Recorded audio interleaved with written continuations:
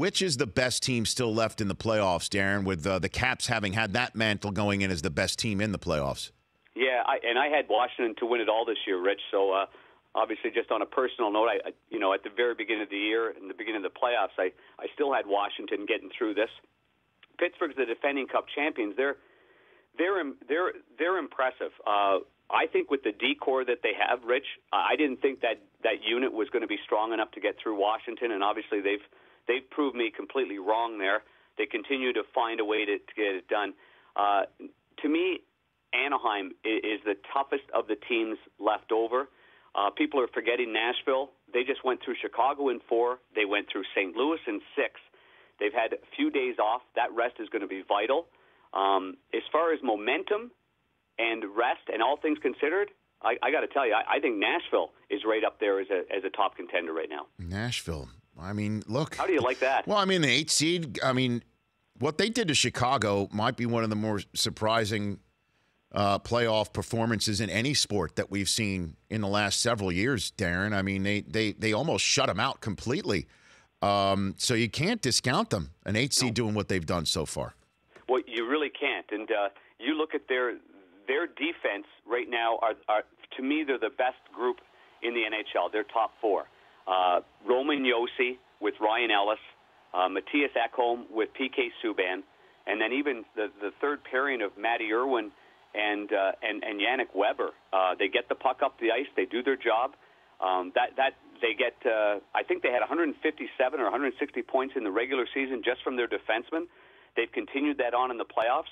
Uh, Peter Laviolette is an experienced coach that's won, and, and he encourages that defense to get up in the play. I'm telling you, they were magnificent against the St. Louis Blues and Chicago. So I just wouldn't underestimate them. I think maybe the one thing that Anaheim has that. Uh, you know that very that, that I, I don't think anybody has what Anaheim has, and that is Ryan Getzlaf as your main guy and Ryan Kesler as your number two guy. He hounded Connor McDavid and did a great job of it, and he can skate. He gets around the ice, so that's where Anaheim's going to have the strength, in my opinion, over Nashville.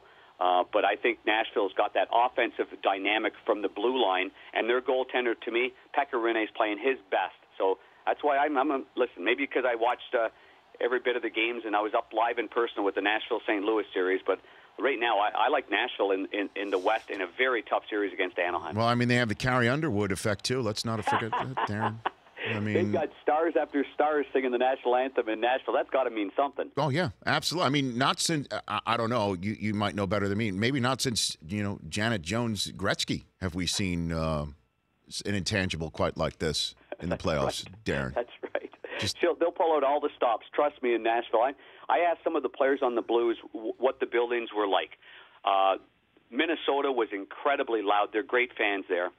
We all know at the United Center in Chicago, Rich. That's as I mean that's as fun as it gets. But they said that Nashville in that six game series was yeah. louder and more enthusiastic than any building that they've been in. Well, so that was a handful of Blues players in a really hard six game series. So that's the seventh man. That's a factor for Nashville. I think it's uh, I think that's a team right now that's uh, that's hmm. destined to go places. Well, I mean, look, uh, you could you could you could definitely feel it through the television set. So, based on what you're saying, Darren Pang, Nashville versus Pittsburgh, with the Penguins maybe uh, repeating. Is that what you're saying right now? Yeah, that's. I mean, that's that's a that's a matchup that I see right now, and it's hard to believe I'm going against Anaheim because of just the experience that they have. But um, I, again, I'm I'm leaning towards just instincts, and my instincts are the way that Nashville is playing, the way that Peter Laviolette changes things.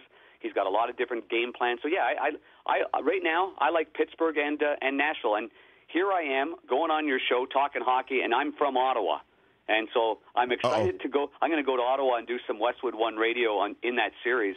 But I'm going against my hometown Ottawa Senators, and I'm leaning towards Pittsburgh and Nashville in the final. Do you remember our days in the uh, in the Bristol uh, b- building, uh, what I guess building one, Bill Pidto, me, you, because uh, I, I, think you and Billy would be saddling up on NHL 2Night, and I would be doing the intermission reports for whatever game was leading into it, Darren. And there's a developing situation from Billy Pidto.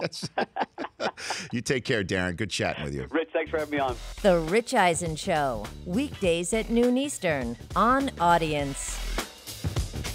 If you liked some of that, get some more of that on the Rich Eisen Show app. Follow all the information you see right here on the Rich Eisen Show.